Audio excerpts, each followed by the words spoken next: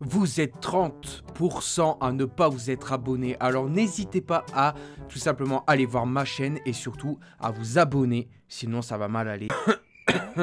et cliquez sur tout. Merci.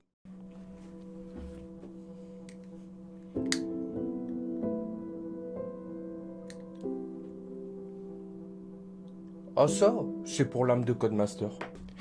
Et what's up les gens, c'est votre Benji TV, j'espère que vous allez tous très très bien. Et aujourd'hui les amis on se retrouve pour une nouvelle vidéo actu, non pas F1 mais plutôt jeu vidéo. Il y a de ça deux semaines on a eu l'information comme quoi que Codemaster a, va arrêter de produire les jeux F1. Alors est-ce une bonne chose, est-ce une mauvaise chose? Des jeux buggés, des jeux moins buggés? Des jeux plus qualitatifs en termes de graphisme? Tout simplement, on verra ça dans le futur, mais pour le moment, stand-by. Alors pour l'instant, on n'a pas l'information de savoir si euh, la nouvelle enseigne qui remplace Conmaster vont faire tout simplement le 2021 ou alors est-ce qu'ils vont commencer avec la nouvelle réglementation de la F1 en 2022. Alors si vous connaissez pas l'histoire, en fait Tech2 Interactive, si je dis pas de bêtises, mais on va dire Tech2 parce que je suis sûr que c'est Tech2, euh, a racheté Conmaster, donc ça devrait se faire, donc là sur le site de jeuxvideo.com, ça devrait être finalisé pour début 2021. C'est pour ça que je vous dis en stand-by, tout simplement, pour savoir quel jeu ils vont faire. Est-ce que ça sera F1 2021 ou F1 2022 Le suspense est à son comble. Alors Tech2, qu'est-ce que c'est? Et eh bah ben, tout simplement, Tech2, c'est ceux qui ont fait Rockstar. C'est-à-dire en gros, c'est ceux qui ont tout simplement développé GTA V. Alors on peut s'attendre du lourd sur les nouveaux jeux F1. Mais alors, euh, ce que j'ai envie de voir, c'est de savoir déjà, est-ce que le jeu sera moins buggé déjà de 1 Parce que le multijoueur, euh, c'est pas trop trop ça.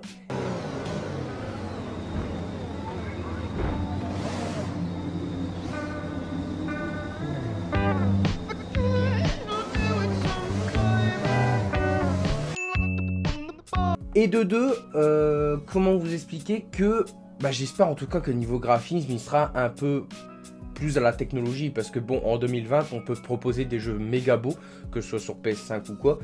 Et vu que ce jeu est un peu cross-platform c'est à dire PlayStation 5 euh, ça va être Xbox One euh, série X là je sais pas quoi PC aussi parce que moi je suis un PCiste tout simplement. J'espère que le jeu sera un peu plus beau graphiquement mais j'espère qu'il sera pas trop gourmand parce que euh, si à chaque fois je suis obligé de changer de carte graphique à chaque F1, ça a coûté bonbon. On notera quand même que Codemaster a fait son apparition pour les premiers jeux F1 sur F1 2009 et oula le gameplay.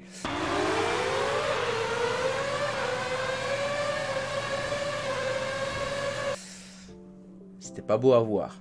Mais s'ensuit l'année 2010 où tout simplement l'année 2010 ça a été un très bon jeu et pour moi ça reste l'un des meilleurs jeux de F1 à rétro qui existe par Codemaster.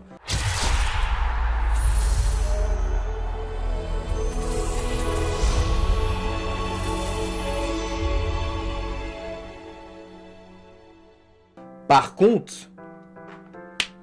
j'ai pas testé le F1 2013. J'avoue, j'ai pas testé le F1 2013, c'est le seul jeu qui manque dans la liste, mais je pense qu'il est très bien. Mais euh, c'est vrai que mon jeu préféré en termes rétro de Codemaster reste F1 2010, mais c'est vrai qu'F1 2020 a, avec le mode My Team, repoussé un peu les attentes, et c'est vrai que le jeu F1 2020 est très bien pensé malgré qu'il soit buggé. Hein, on l'a bien vu dans les épisodes de la LFF1 GP où j'avais des bugs de safety car, et j'en passe.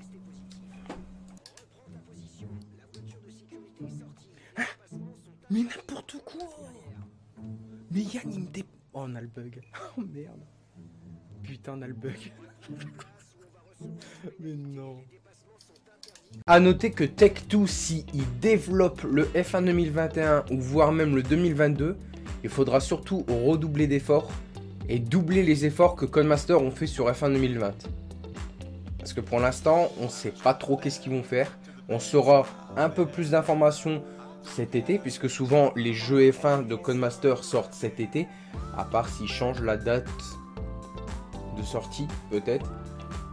Début de saison d'F1, ça serait pas mal, parce que début de saison d'F1 IRL, ça serait bien, puisque tout euh, la communauté F1 demande à ce que les jeux soient sortis euh, quand même euh, avant le début de saison. Mais c'est vrai que on peut pas trop le faire, parce que comme je devrais le dire. Personnellement, les développeurs utilisent leur technique pour développer les voitures dans le sens où ils voient les livrets, ils se disent ok, on va faire la voiture comme ça, donc ils le font sur le jeu, enfin ils le font sur le jeu tout simplement. Et à ce moment-là, ils se disent ok, maintenant il faut voir la puissance des moteurs. Donc ils sont obligés d'attendre les essais hivernaux, déjà de 1, voir les résultats, et de 2, avec F1 2020, ils ont mis des moteurs, enfin ils ont mis des micros au niveau du moteur pour que le, le son moteur sur F1 2020 soit plus jouissif et plus qualitatif que F1 2019. Parce que je vais pas vous mentir, le moteur d'F1 2019, surtout chez Ferrari, c'était nul. Ah, c'était pas bon. Donc du coup, Tech2, hmm, qu'est-ce que vous allez faire? Parce que clairement, moi j'ai hâte de découvrir ça. Et vous, Tech2 Interactive, qu'est-ce que vous en pensez? N'hésitez pas à me le dire dans les commentaires. Et surtout, n'hésitez pas à vous abonner parce que c'est très important. Je risquerai de faire une vidéo découverte sur F1 2021. Sur ce, c'était Benji. J'ai mon peace et à la prochaine. Tchou